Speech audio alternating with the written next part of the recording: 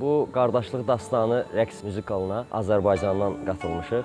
Bu böyük bir belə deyək, iki dövlətin tarixini, keçmişini anlatan bir rəqs müzikaldır. Bu səfərki iş qat-qat çətin bir işdir. Niyə? Çünki iki dövlətin tarixini, keçmişini, yəni Çanaqqala savaşından Azərbaycanın Türkiyəyə olan qardaşlığını, Nuri Paşanın Türkiyənin Azərbaycana olan qardaşlığını və sonuncu Qarabağ savaşında yenə qardaş ölkəmiz Türkiyənin tək millət, iki dövlət sözünü yenə də burada göstərməklə Azərbaycana olan dəstəyi həqiqətən bütün dünyaya göstərməliyik ki, Azərbaycan-Türkiyə qardaşlığı həqiqətən keçmişdən bu günümüzə qədər necə bir şeydir, bunu bütün dünya bilməlidir.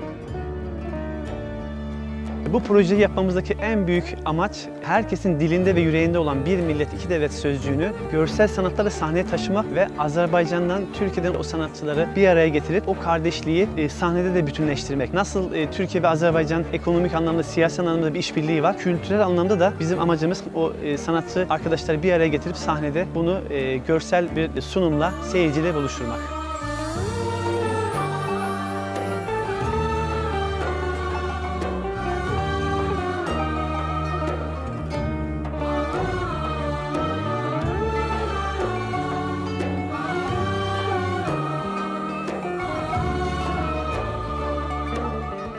Yaptığım işte en çok birlikteliği seviyorum.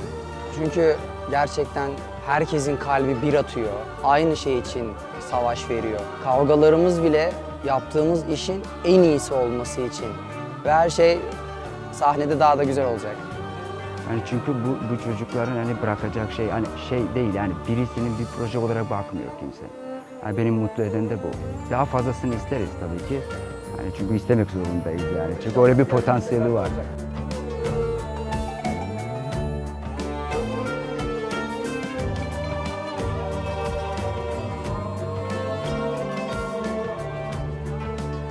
Ben Meryem Kadirova. 2012'den beri Türkiye'de çalışıyorum. Bu sene de Kardeşlik Destanı diye bir güzel ekibe davet edildim. Burada olmaktan çok mutluyum, çok memnunum. Çok güzel e, insanlarla çalışıyoruz.